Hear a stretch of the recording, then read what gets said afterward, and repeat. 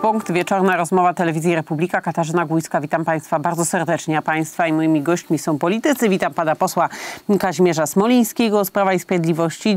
Dobry wieczór Panie pośle. Witam również pana posła Grzegorza Rusieckiego z Platformy Obywatelskiej, Koalicji Obywatelskiej. Witam bardzo serdecznie, panie pośle. Dzień dobry, witam panią redaktor, witam naszych widzów. Szanowni panowie, pojawiła się pojawia się, może, może tak, bo pojawia się coraz więcej informacji na temat planowanej reformy Sądu Najwyższego, reformy, która miałaby również za zadanie e, zmienić no, i kształt tego sądu, ale i też, i też zlikwidować przy okazji Izbę Dyscyplinarną Sądu Najwyższego. Jednak e, zanim do tej, do tej sprawy przejdziemy, bo chcę panów o to też poprosić, poprosić o komentarz do tych informacji, które się pojawiają. Myślę, że jeszcze mm, mm, temat mm, wypowiedzi pana rzecznika, byłego rzecznika praw obywatelskich Adama Bodnara, no bo to jest w pewnym sensie e, też być może zapowiedź, e, jak będzie w przyszłości traktowana ta kolejna zmiana w polskim wymiarze sprawiedliwości przez część państw Unii Europejskiej. Panie pośle, zwracam się do pana posła Kazimierza Smolińskiego z Prawa i Sprawiedliwości. Jak pan e, odczytuje tę wypowiedź byłego rzecznika praw obywatelskich? E, no, myślę, że nie trzeba jej już e, cytować po raz kolejny. Myślę, że jest na tyle znana, że, że wszyscy doskonale wiedzą, o jaką wypowiedź chodzi, ale również w, w kontekście takiego zaproszenia do tego, żeby jednak cały czas ingerować w, w kształt wymiaru sprawiedliwości w Polsce, ingerować z zewnątrz?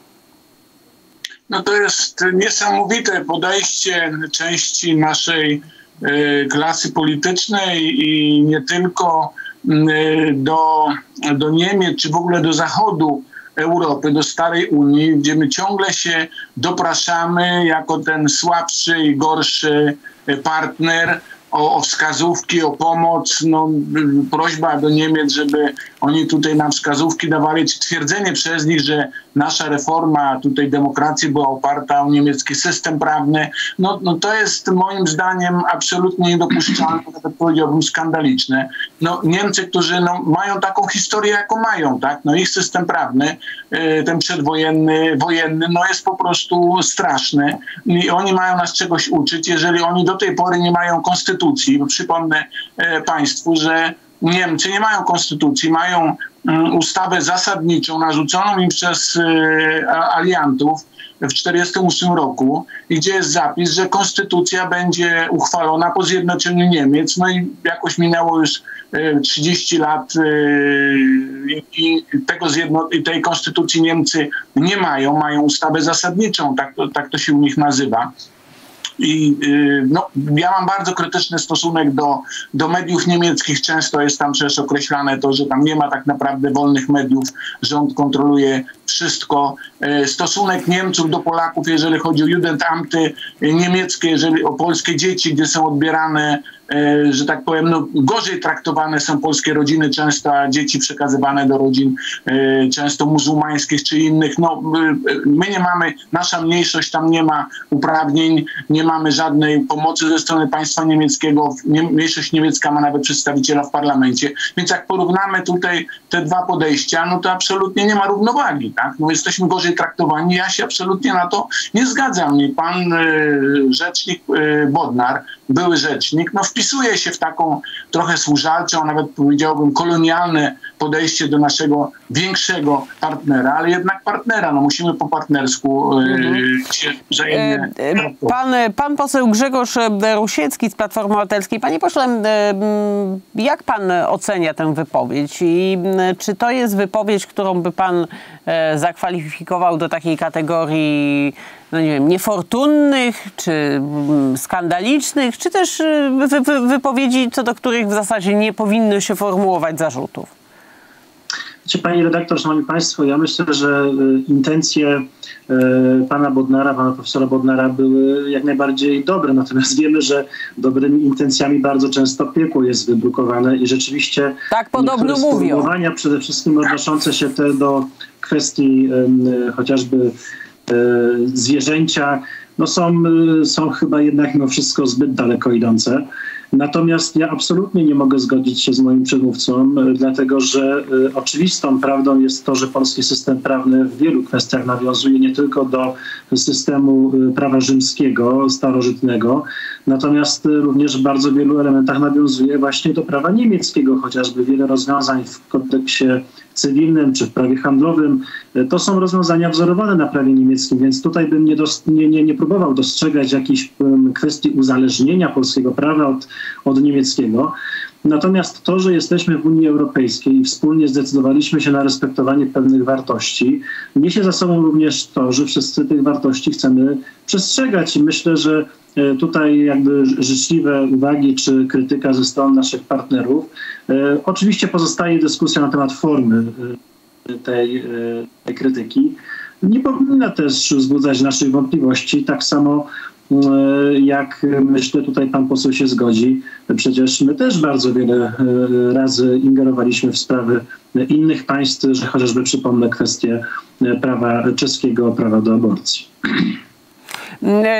Panie pośle, ale przepraszam, to ja jeszcze dopytam, bo, bo ta wypowiedź, wypowiedź pana byłego Rzecznika Praw Obywatelskich, ona miała, no, oprócz tych zwrotów, które myślę, że jednak powszechnie zostały uznane, no, co najmniej za niestosowne, a ja myślę, że tak naprawdę jednak są obraźliwe. I to nie chodzi o to, że pan rzecznik sam siebie obraził, no ale myślę, że one są obraźliwe wobec państwa polskiego i wobec społeczeństwa polskiego. Natomiast e, ta wypowiedź jest jakby zaproszeniem do tego, żeby, żeby e, no, przepraszam, mentor, który miałby oswoić to zwierzę,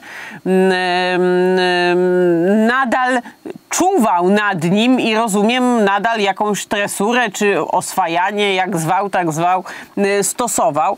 Jak pan patrzy na, na tego typu no, zaproszenie? Bo ja rozumiem to, co pan powiedział, że można komentować, można wymieniać się opiniami i pewno komentować można, można się wymieniać opiniami, ale przecież pan rzecznik Bodnar nie o komentarze i nie opinię prosił, y, tylko prosił o to, żeby, żeby był nacisk, ingerencja, żeby, żeby, y, żeby no, w pewnym sensie instytucje państwa, obcego państwa y, brały odpowiedzialność za kształt rozwiązań, które zapadają państwie sąsiednim. No to są jednak, y, przepraszam, ale takie prośby, no mam wrażenie, bez precedensu y, od jakiegoś czasu. Przynajmniej y, jeżeli chodzi o tak wysoko postawioną osobę. One rzeczywiście w historii Polski niestety się mhm. zdarzały bardzo często, no ale jednak ostatnio takich otwartych próśb nie mieliśmy. Jak pan na to patrzy z tej strony? Pani redaktor, no to nie ulega wątpliwości, prawda? Mieliśmy wiele takich e, momentów w naszej historii, gdzie zwracaliśmy się e, z takimi dość e, no, mocno kontrowersyjnymi prośbami o ingerencję, że chociażby przy, przypomnimy końcówkę I Rzeczpospolitej Polskiej. Natomiast chciałbym powiedzieć, że tutaj nie wiem z czego to wynika, ale no, ewidentnie należałoby rozróżnić kwestie y, państwa takimi, jakimi są Polska, Niemcy, Czechy czy, czy Hiszpania od Unii Europejskiej, bo ja przypomnę, że to też polski rząd na czele z panem premierem Morawieckim zgodzili się na ten mechanizm praworządność, pieniądze za praworządność, więc y, no, też jakby kwestia Y, wywierania y, presji, tak, czy, czy pewnego wpływu w tym zakresie przez instytucje Unii Europejskiej y, jest w moim przekonaniu absolutnie dopuszczalne. Natomiast za niedopuszczalne uważam wprost ingerowanie konkretnego państwa w systemy prawne czy w rozwiązania te, które się dzieją w innym demokratycznym państwie. A czy pan uważa, że w takim razie pan były rzecznik powinien przeprosić polską opinię publiczną za swoje słowa? Ja myślę, że przydałoby się, że przynajmniej wyjaśnił te, te, te, mhm. te, te, te przesłanki, którymi się kierował. Mm, pan poseł mm, Kazimierz Smoliński, Prawo i Sprawiedliwość. Mm, panie pośle, to już może przejdźmy do, do tego, co pojawiło się w, w przestrzeni publicznej. Zresztą zapowiadane, chociażby pan wicepremier Jarosław Kaczyński w wywiadzie dla Gazety Polskiej mówił o tym, że, że ta reforma, ona jest już na ukończeniu i za chwilę rozpocznie się ścieżka legislacyjna zostanie otwarta dla tych nowych rozwiązań. Wiemy, takie są przekazy medialne, że Sąd Najwyższy zostanie znacznie okrojony. To będzie znacznie mniejsza instytucja, dwuizbowa, która, która no, część sędziów albo dostanie propozycję przejścia na emeryturę, ci, którzy będą chcieli już przestać orzekać w Sądzie Najwyższym, ci, którzy będą chcieli pozostać. Media informują, że będą w pewnym sensie no, musieli się poddać weryfikacji krajowej KRS-u lub będą mogli orzekać też w innych sądach. To, to jest kwestia, rozumiem, otwarta. Czy rzeczywiście tak ma to wyglądać? No, jako członek KRS-u mogę powiedzieć też, że czekam z niecierpliwością na projekt. Nie mogę nawet jeżeli coś bym wiedział, to nie chcę tu, że tak powiem, wyprzedzać informacji, które poda premier czy minister sprawiedliwości, bo oni są uprawnieni w pierwszej kolejności. No dobrze, do... ale panie pośle, ale te informacje dotyczące tego, że ten Sąd Najwyższy tak. będzie znacznie mniejszą instytucją, one już się w zasadzie chyba, chyba zostały tak. potwierdzone, prawda? To myślę, że tu nie ma wątpliwości, że mamy, re, mamy przeprowadzić reformę całego wymiaru sprawiedliwości. To jest dalszy ciąg tego, co do tej pory robiliśmy żeby usprawnić działanie e, wymiaru sprawiedliwości. I jednym z elementów będzie także reforma Sądu Najwyższego, który ma być mniejszą instytucją, złożoną, tak jak pani redaktor powiedziała, prawdopodobnie z, z dwóch izb, pewnie izba e, cywilna, izba karna. Nie będzie tam większości tych kasacji, które w tej chwili są, bo one zejdą na niższy szczebel. Nadal pozostanie odpowiedzialność dyscyplinarna sędziów, bo ona wynika z innych przepisów. My nie likwidujemy immunitetu sędziowskiego, więc żeby można było sędziego pociągnąć do odpowiedzialności, to ktoś musi ten immunitet uchylić i dopiero można sędziemu postawić e, zarzuty prokuratorskie czy jakiekolwiek mm, inne, więc ta jakaś forma uchylenia tego immunitetu będzie i ona niewątpliwie pewnie za, e, moim zdaniem będzie w Izbie e, Karnej. No Polska w przeciwieństwie do Niemiec ma immunitet, y, w Polsce jest immunitet sędziowski, a na przykład w Niemczech immunitetu sędziowskiego w ogóle nie ma tam, więc sędziowie tam odpowiadają wprost y, przed wymiarem sprawiedliwości. Nawet za wydawane orzeczenia są pociągani do odpowiedzialności, co w naszej sytuacji, gdyby to u nas teraz chcieć to wprowadzić, no przecież Niemcy i cała Unia krzyczałaby, że my po raz kolejny łamiemy praworządność. Także panie pośle, też proszę spojrzeć tutaj na nierówność, która jest. W Niemczech w ogóle nie ma immunitetu i tam jest demokracja u nas jest immunitet sędziowski żeby sędzią postawić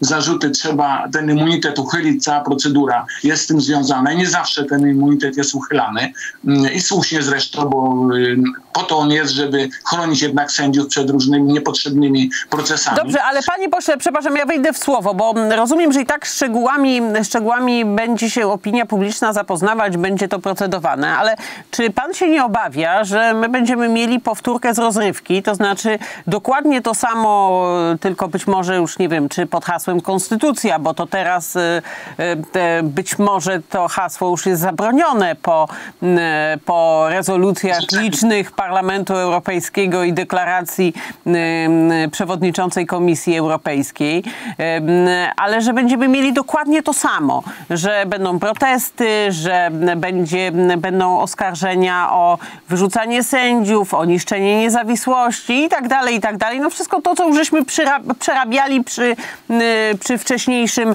etapie y, reformy. Pan się nie, nie obawia, że będzie no, w gruncie rzeczy y, ten sam repertuar odkurzony, tylko być może hasło konstytucja zostanie zamienione na coś innego.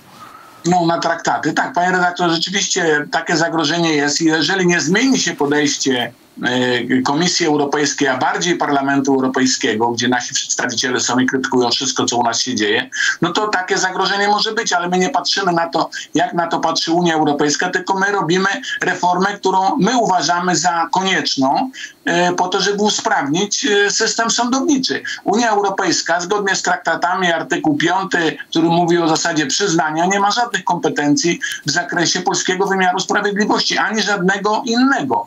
My to robimy według własnego uznania. Zapewne znajdzie się tutaj znaczna część opinii europejskiej i polskiej, która będzie to krytykować właśnie, że niektórzy sędziowie muszą przejść w stan spoczynku, ale takie reformy się dzieją. Niemcy też zapowiadają zmianę swojego wymiaru sprawiedliwości. Francuzi ostatnio, Macron chyba zapowiedział, że będzie radykalna zmiana systemu wymiaru sprawiedliwości we Francji i tam jakoś nikt tego nie kontestuje, nikt nie protestuje. Kraj ma prawo to zrobić i my też to robimy, dlatego że my tak uważamy, a nie dlatego, że Unia nas do tego zmusza, bo Unia w tym, w tym wypadku sama łamie zasady praworządności. Panie pośle, zwracam się do pana posła Grzegorza Rusickiego z Platformy Obywatelskiej, klubu Koalicji Obywatelskiej. Panie pośle, czy, przepraszam, czy w ogóle rozmowa na temat zmian w wymiarze sprawiedliwości jest możliwa z państwa, z pana perspektywy? Czy pan jest w ogóle zainteresowany rozmową na ten temat? Czy to jest tak, że państwo przyjęli takie założenie, że każda zmiana, którą wprowadza obóz rządzący jest zmianą złą, bo ona służy, nie wiem, upolitycznieniu sądów i wobec tego nie ma dyskusji? Pani redaktor, chciałbym to powiedzieć bez krztyny zgryźliwości. Znaczy, Prawo i Sprawiedliwość od sześciu lat tak reformuje wymiar sprawiedliwości, że postępowania się wydłużają, że jest coraz więcej wakatów sędziowskich nie, nieobsadzanych, więc ja z, z pewnym niepokojem y, przyjąłem tą zapowiedź kolejnej reformy wymiaru sprawiedliwości jako takiej. Natomiast jeżeli pani redaktor pyta, oczywiście, że tak. Ja się dziwię, że nawet na tym etapie uzgodnień resortowych nie zaproszono przedstawicieli opozycji do tego, do tych prac. Myślę, że to byłoby z wielką korzyścią również dla tego projektu.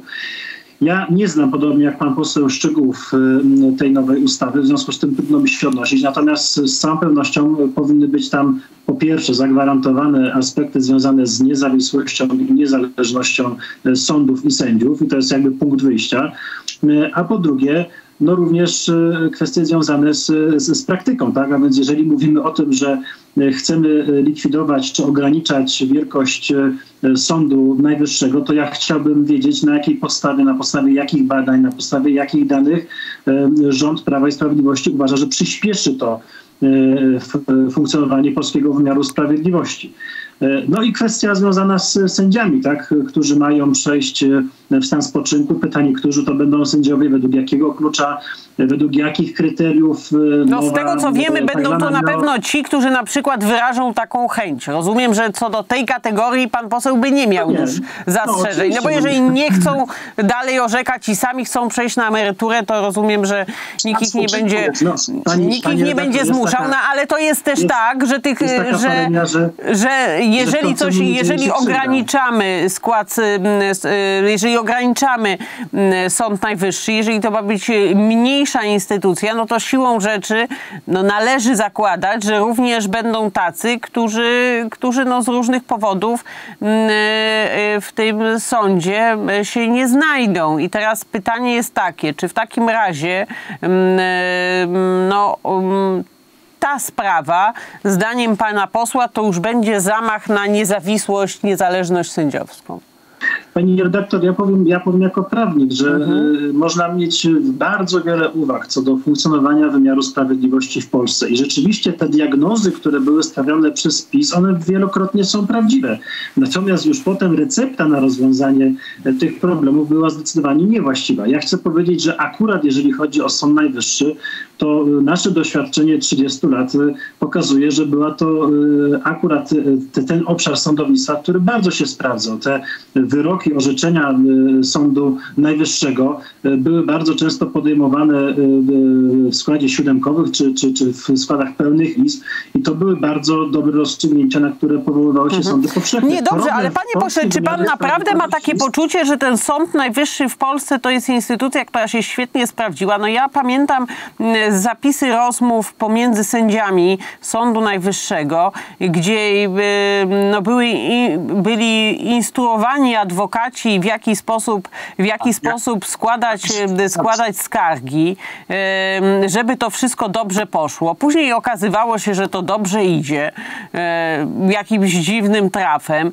No, sprawa kompletnie niewyjaśniona i sędziowie nie ponieśli żadnych konsekwencji. Mamy tam y, chociażby sędziów, którzy skazywali ludzi y, na, y, na wyroki więzienia w czasach komunistycznych. No mamy, mamy już no taki przykład już w ogóle przerażający, no przynajmniej dla mnie, sędziego, który był nie tylko skazywał, ale jeszcze był funkcjonariuszem służb specjalnych. No, ja się zastanawiam, czy ta nowoczesna, niepodległa Polska, ona rzeczywiście takich ludzi potrzebuje. Czy ten przykład... sędzia, sędzia z, z, z tych służb komunistycznych, wojskowych, to on jest, przepraszam, jakąś taką ostoją niezależności sędziowskiej w Polsce?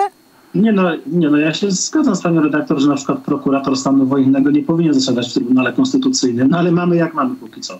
Wszystkie nieprawidłowości powinny być rozwiązane. Ja tylko wskazuję na to, że w tym całym polskim jakby wymiarze sprawiedliwości i tym, gdzie są zatory, jeżeli chodzi o prowadzone sprawy, rozstrzygnięcia, to wcale nie Sąd Najwyższy jest głównym problemem. Ale ja rozumiem, że to nie tylko... Ale panie pośle, przecież te wy... sondaże, które były przeprowadzane przez całe lata, one nie pokazywały tylko tego, że ludzie czekają bardzo długo długo na rozstrzygnięcia, ale one pokazywały to, że ludzie nie poważają sędziów i nie mają do nich zaufania i uważają, że nie są, nie są obiektywni i niezawiśli. Przecież to jakość też była niezwykle krytykowana, nie tylko szybkość postępowania. Oczywiście, że te latami trwające, ciągnące się procesy, że to jest jakaś udręka, wręcz czasami tortura dla niektórych ludzi. Zależy jakiej sprawy to dotyczy, ale też jakość e, pracy no, budziła poważne wątpliwości. Jedno zdanie, panie pośle, jeszcze komentarze do tego, co powiedziałam i jeszcze jedno zdanie, pan poseł Kazimierz Smoliński. Panie dyrektor, ja tylko powiem tylko tyle, że sądy są po to, żeby prawo stosować, a od tego, jakie jest, jaka jest jakość prawa, odpowiada parlament. I tak to mogę tylko No jeszcze jest pewno jakość stosowania tego prawa. Pan poseł Kazimierz Smoliński. Co do Sądu Najwyższego, no, y, panie pośle, wie pan, że są nowe wyzwania, szczególnie w zakresie skargi nadzwyczajnej, gdzie ilość tych spraw y, rośnie lawinowo i tutaj trzeba usprawnić działanie. Zwykła skarga kasacyjna też bardzo długo się czeka na rozstrzygnięcie tych spraw, więc dlatego musimy to zmienić, żeby usprawnić, bo to nie tylko... Ale dlatego ograniczamy liczbę sędziów? Nie, przenosimy to niżej. Będzie inny system. No, trzeba poczekać na szczegóły. Zobaczymy, zobaczycie Państwo, jak to będzie wyglądało. Na pewno to usprawni y, działanie sądownictwa, a mam nadzieję też, że sędziowie przestaną stosować tak zwany włoski strajk, bo też niestety z tym się spotykamy, że część sędziów y, potrafi nawet wydłużać sprawy po to tylko, żeby te statystyki były gorsze. I mam nadzieję, że to zostanie wyeliminowane. No to, że ludzie oczekują, czy społeczeństwo społeczeństwo oczekuje na poprawę, to nie ulega wątpliwości. Tak? I dlatego kontynuujemy tą reformę, ale nie dlatego, że Unia I Europejska... Tutaj, I tutaj stawiamy kropkę, czekamy na szczegóły. W takim razie pan poseł Kazimierz Smoliński, Prawo i Sprawiedliwość, pan poseł Grzegorz Rusiecki, Platforma Obywatelska, Koalicja Obywatelska byli państwa i moimi gośćmi. Raz jeszcze serdecznie panów pozdrawiam, serdecznie dziękuję, a państwa gorąco zapraszam. Proszę z Republiką pozostać i do zobaczenia.